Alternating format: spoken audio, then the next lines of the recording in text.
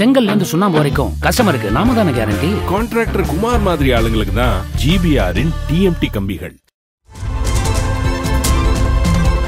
மக்களின் நலனுக்காக அல்ல பணக்காரர்களின் வயிற்றை நிரப்பவே மோடி பிரதமரானார் என்று காங்கிரஸ் தலைவர் மல்லிகார்ஜுன கார்கே கடுமையாக சாடினார். கர்நாடக மாநிலம் குல்பர்கா தொகுதியில் தனது உறவினரும் காங்கிரஸ் வேட்பாளருமான ராதாகிருஷ்ண தொட்டமணிக்கு ஆதரவாக கார்கே வாக்கு சேகரித்தார். அப்போது பேசியவர் நாட்டை கொள்ளையடிக்கவும் ஏழைகளை சுரண்டவும் பணக்காரர்களுக்கு உதவுவதற்காகவும் தான் மோடி பிரதமராக இருந்தார் என கடுமையாக விமர்சித்தார். கட்டுற கம்பில இருந்து அடிக்கிற ஆணி வரைக்கும் எல்லாம் குவாலிட்டியா இருக்கணும்ல. பிரகாஷ் போன்றவர்களுக்காகவே ஜிபிஆரின் டிஎம்டி கம்பிகள்.